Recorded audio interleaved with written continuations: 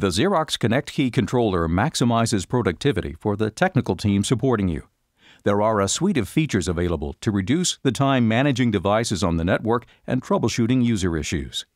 The remote control panel is designed to help you view activity, check status, manage configurations, and resolve issues at the printer without leaving the desk.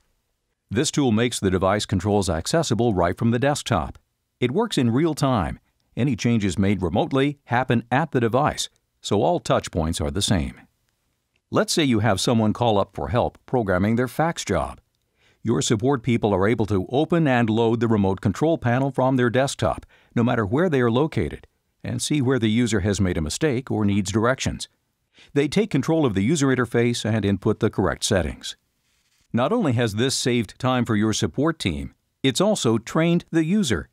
Support staff can use Remote Control Panel to quickly educate their users on device features even when they're not at the same location or need to display the user interface on a big screen. There are other great training and troubleshooting tools resident on the device.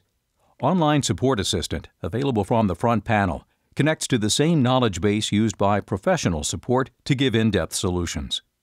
Similarly, animated help videos embedded in the user interface are designed to provide users with quick, graphical instruction on how to resolve common issues like using the document feeder or replacing consumables.